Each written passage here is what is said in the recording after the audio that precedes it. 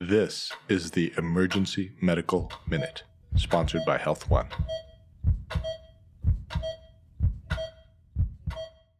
Welcome back to the Emergency Medical Minute. We're privileged to have Adis Keric, clinical pharmacist, with us here today. This will be the first in a series of interactive podcasts between ourselves and Adis and his pharmacy crew. We think that it's such an important perspective. We interact with pharmacists in a variety of ways. Our listeners come from kind of across the spectrum. Some of us are fortunate, like we are here at Swedish, to have a pharmacist in house 24 7. And man, do they save my butt on a regular basis. Some of us have a pharmacist who is available by telephone consult, and some of us are out there without the benefit of a pharmacist at all. So I'm hopeful today to kind of touch on some rapid fire topics. They're clinically relevant for our folks. Adis has a great and diverse background in pharmacy across across multiple parts of the hospital. Thanks for being here, Dees. Can you give us a little bit of background of what you're doing clinically, how you got here? Absolutely. First of all, thank you guys so much for having me. It's uh, really an honor. You know, it's podcasts like your guys' that actually just gave me the courage to kind of start my own and just provide some free open access education. So thanks for having me on.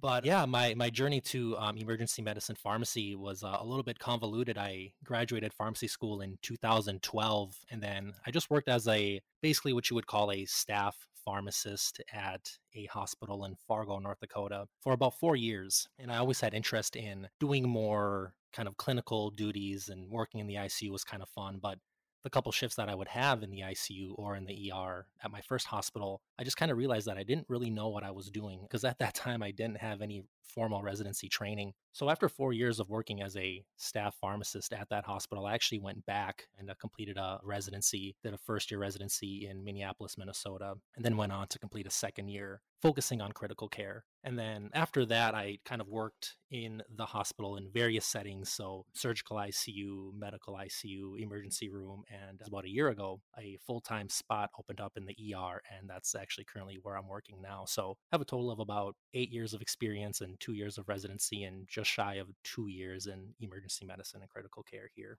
Perfect. Tell us a little bit about your clinical site where you're working now. Absolutely, yeah. So I work in a pretty large level one trauma center in St. Paul, which is, um, if you guys are familiar with the area, it's right next to Minneapolis. And we're a safety net hospital, have a fairly large ICU with at least 55 beds. We see a lot of admissions. Like I said, we have a surgical ICU, a medical ICU, a nationally recognized burn center, and a very well run and, and, a very nice ER. I know I'm kind of biased, but um, I think it's just a fantastic site. And I was really, really happy and, and really honored to be able to not only do two years of residency there, but also continue on and, and work there after residency. Perfect. How is it different from your initial site in Fargo? I've been to Fargo, full disclosure. Oh, yeah. Big fan. Big fan. Yeah, drove through on my way driving out here to, to Denver. Love it. Beautiful. But I imagine it's a little bit of a different clinical setting to where, where you are now. Totally. Yeah. And I mean, you know, the pharmacist there and, and obviously like the medical system there is, is very advanced. And it, it's just, it was different for me personally because, like I said, at that time, you know, I, I didn't have a residency and, and now pharmacy residencies are, are growing exponentially. And I think I never really got to experience the true clinical side of where I worked in Fargo at Sanford. But I know that they, I mean, they do a fantastic job. And I think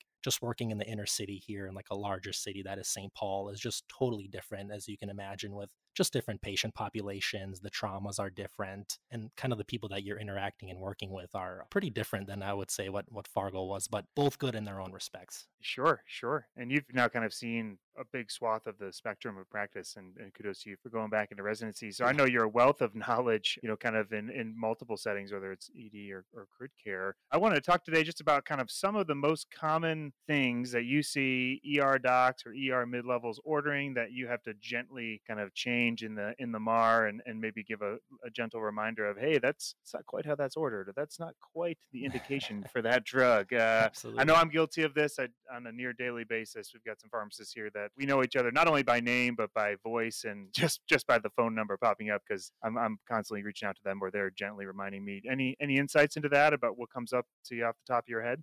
Yeah, and I think some of the biggest things that we see, and obviously we have an emergency medicine medical residency as well. So we spend a lot of time working with and educating the residents at my site. And I think, you know, one of the biggest things will just be antibiotics and not only dosing, but which antibiotics to use in certain settings. What do the guidelines say? Are antibiotics even indicated in the scenario? And a lot of that will then veer off into, well, if you have an allergy to this antibiotic, which one can I use, which one can't I use. And I think starting simply, one of the first ones that we always get, and I kind of almost consider us a kind of like a much smaller ID service uh, on certain days in the ER because I feel like, you know, 90% of the phone calls I make are, are regarding antibiotics and dosing. And so I think that's kind of a big one for us personally. Sure, absolutely. Any any classic kind of uh, overdosing, underdosing that you see that we can maybe pass on to our listeners? I've got some ideas, but yeah, yeah. I think the big one is just being super familiar with the new guidelines. I mean, especially community acquired pneumonia, right? So, as I'm sure you're aware, the whole concept of a healthcare associated pneumonia has kind of gone out the window. So, we have a lot of patients that come in, for example, from nursing homes that have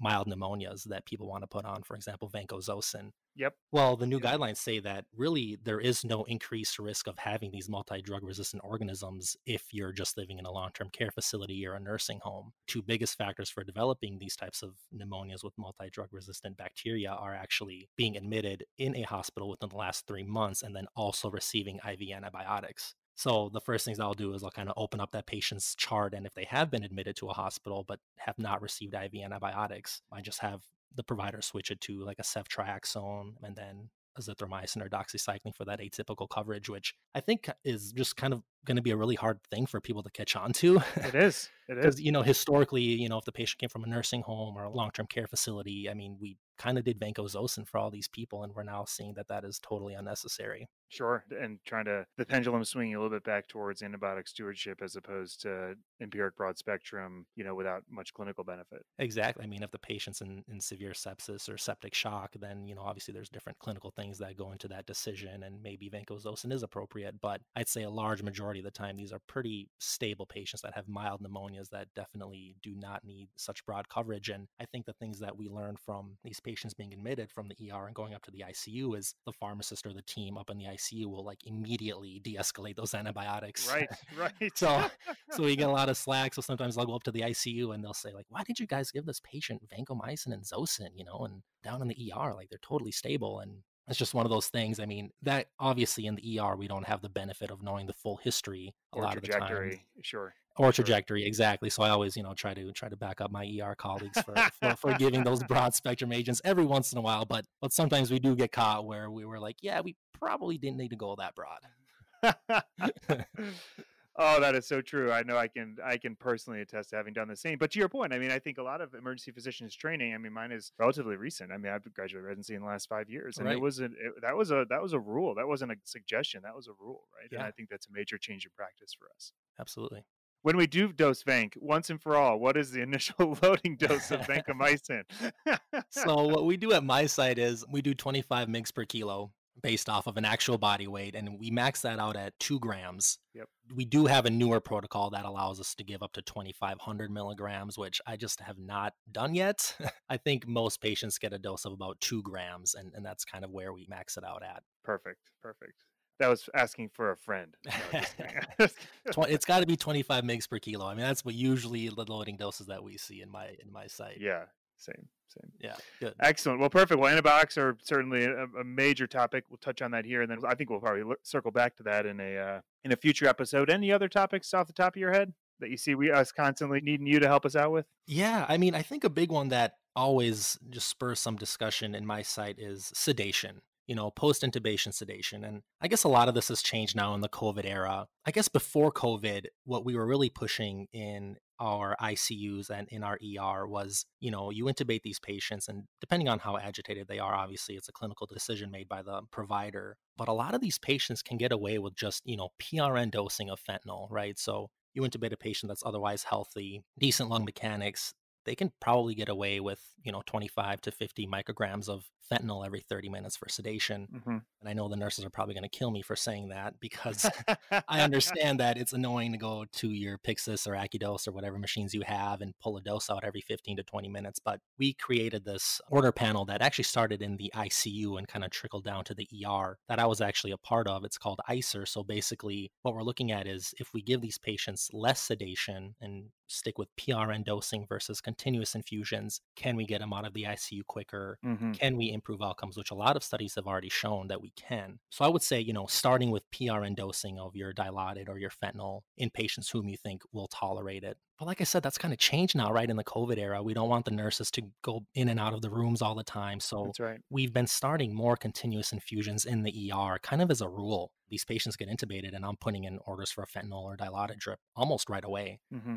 So, you know, I kind of maybe we'll recircle back to that maybe in like a year or two when this is all kind of hopefully over and, and controlled Sure. by then. But I would say, you know, sticking with if you can, if you have a COVID negative patient, just PRN dosing of, of fentanyl or, or dilaudid and seeing how they do. And if the nurses are really annoyed and patients, you know, bucking the vent and not at a RASS goal that you would like, maybe then try to start that continuous infusion. Okay. Okay. What type of metrics were you seeing improved? Was it ICU length of stay, ventilator days? What were you seeing with the PRN dosing protocol you had? All of them, yeah. So there's actually just a plethora of studies that actually are cited very heavily in the pain, agitation, delirium guidelines. Basically, they're, they're saying um, shorter lengths of stay, less days on mechanical ventilators. And I think there's even some trends in even mortality, if I'm not mistaken, but I'd have to check that. Our own internal study that we hopefully plan to publish one day is looking at specifically ventilator days, lengths of ICU stay. And I think there's some more mortality and morbidity outcomes as well. Mm-hmm. Understood. Yeah, I Yeah. think uh, it's a big component of the the question of ICU delirium in, in these COVID patients, right? I mean, I think anecdotally we're seeing, and there's some literature based for this too, about prolonged periods of delirium, both on mechanical ventilation and after. There's these kind of exacerbated kind of ICU delirium stays, and I wonder if that's related to changing sedation protocols. Certainly, it's one of many possible components. Certainly. Yeah, absolutely. And I and I think what we've learned, I think one of the biggest things that we've we've learned throughout the years is just how bad continuous infusions of benzodiazepines are, which I'm sure you're aware. Mm-hmm. Obviously, propofol and Precedex are are a little bit better, but I mean that whole concept of A1 or analgesia first sedation, I think is is really taking off, and I think our patients are doing much better now that those guidelines are are heavily focusing on avoiding benzodiazepine agents. Absolutely. I'd say that's probably the most prominent thing I've seen in the last five years is I can't remember the last time I ordered a Versed drip. Yeah, Right. I mean, and there's good good evidence for that. Well, that's that's a so that's a great topic. And then uh, I was thinking brief review of kind of anticoagulation reversal, the current state of that. What are you guys doing, especially for the direct oral anticoagulants? Yeah, so right, that's that's the that's the tough one. So we we actually do not even carry uh, Andexxa or Andexanet Alfa, and that was kind of a, a system wide decision that we made. And I think if if you just look at the data, and if you look at the cost of you know like a high dose Andexxa, I think is upward of eighty thousand dollars for the full dose regimen Mhm. compared to like a Kcentra, which I believe, depending on your site and, and how many units you're giving, I think caps out at about eight thousand dollars or, or somewhere around there Yep. Yep. and the, the outcomes just aren't there yet. I mean, from what I know, and correct me if I'm wrong, but there's just that one study that looked at basically, it didn't really look at clinical outcomes. It just looked at control of bleeding and, and hemorrhage expansion and things like that. But they kind of weeded out the sickest patients. And I think it, just looking at the data that we have now, I, I think Kcentra is still the way to go. And I think I'm sure you guys are familiar with the EMCrit blog. You know, they they've posted a couple articles and a couple thoughts on that, which I agree with wholeheartedly. Yep. So I think now with the DOACs, I, I think Kcentra is the best option. I agree. That's our that's our facilities policy as well. We did a, a joint journal club with ourselves, trauma ICU, medical ICU, and I think we all came to the same agreement, Yeah, irrespective of indication. It just isn't it isn't there yet. Exactly. It isn't there yet. And, and I think that kind of segues us into another topic of just the Kcentra use in general. So I actually sit on a board that reviews every single Kcentra administration in the hospital. And then we get together with our ER colleagues, neurosurgeons, and, and ICU colleagues, and we look at each case and try to figure out whether or not even Kcentra was indicated in that scenario. So the big ones that we've actually stopped using Kcentra for would be like operative oozing in the OR, which I guess I didn't even know was a thing, but we were seeing a lot of a lot of people use it in the OR. We've There may be one or two surgeons who listen to this podcast, so just in case they are. yes, yeah, yes. perfect. Hey, if perfect. they have any data, I'm, I'm all ears. But we, we we have a bunch of surgeons on that panel who also agree that it probably isn't indicated in that scenario. Great. And then we see a lot of reversal with Kcentra for patients that have elevated INRs in the setting of like liver disease and cirrhosis. Mm-hmm. Mm-hmm. which also is kind of a controversial topic, but we've kind of jumped on the train of this is probably not indicated in this scenario either. Got it. Do you have any caveats for active bleeding, whether it's active GI bleeding or or other? in that case for those patients with known hepatic dysfunction, INR, you know, pick whatever parameters you want, but that they have active variceal bleeding and or hemodynamic instability. Is there any trigger that then kicks you into back into the Kcentra pathway to give that, or is it just kind of a hard? We don't use INR as a mediator for deciding whether or not we're going to use Kcentra in liver patients. Yeah, great question. I mean, and th- that's a tough one. I mean, it's definitely Totally. it's definitely We don't have an answer to that. To be clear, to be. I'm not asking you because I know the answer. I'm asking you because we we're looking for the same answer that you are. I, I think the big one is the hemodynamic instability.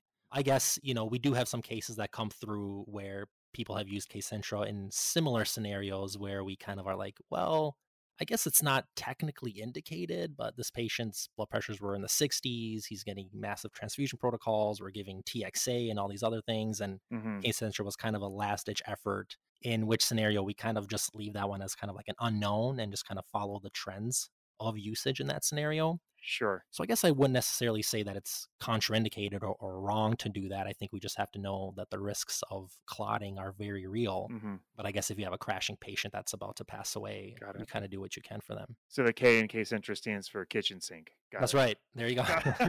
Good way to think of it. I love it. I love it. I love it. Well, can you plug your podcast for us? I, want to make sure that we get some good airtime for that. I want to hear about what you're doing with podcasting because I, I think there's a really exciting opportunity for collaboration between our two podcasts. What are you up to? Yeah, I'm very excited. Yeah, thanks again. So, my podcast is called ER-Rx, and it's basically a podcast that's focused on the appropriate and optimal use of medications in the ER and ICU setting. And this all kind of started, obviously, I'm a big fan of podcasts and I listen to a lot of them. And I just felt like I had some decent information to share that I didn't really have anyone to share with.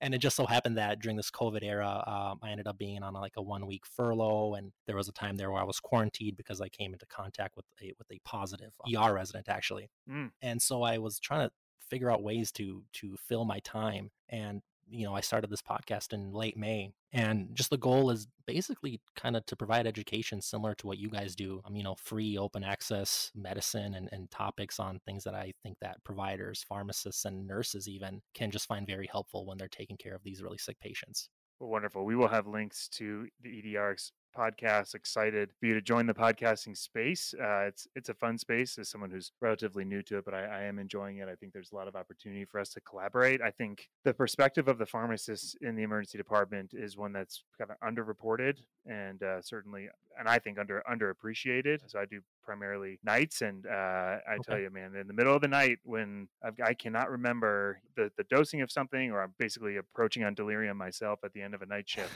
uh, you know, I think uh, having having a pharmacist there with me is, is just is so invaluable. So I look forward to having a continued collaboration with you in, in ways that benefit both of our podcasts and our and most importantly our listeners. Uh, I think today was a great starting point about touching on some really clinically relevant information that our practitioners can put to use. And I think there's there's more to come. So thank you very much.